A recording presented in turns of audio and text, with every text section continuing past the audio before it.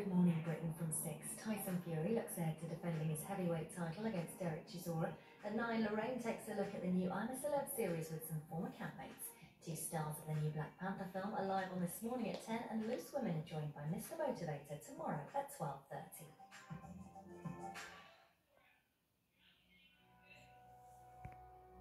Now with the latest news in Northern Ireland, it's UTV Live with Paul Clark and Sarah Clark.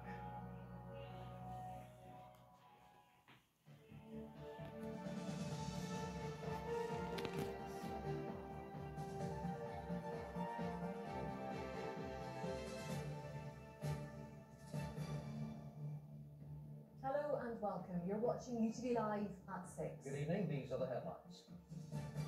A Kirkcudbright farmer struggling with soaring costs says he's horrified by today's interest rate hike that will see his land lease bill jump.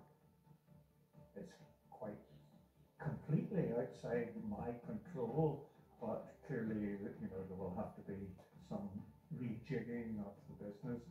A County Antrim bar owner appears in court, charged with manslaughter after a man is found on the street in Port Portbello. And the Chief Constable says police have not seen any heightened threat of violence from loyalist paramilitaries. Also tonight. Last minute preparations underway for the opening of the 22nd Belfast Film Festival. Tonight's movie is Ballywalter. I'll be speaking to the star of the show, a man who's gone from comedy circuits to movie junkets. Paddy Kielty is coming up later.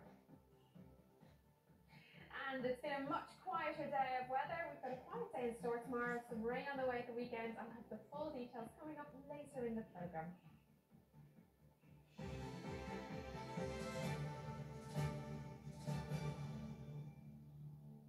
The Bank of England has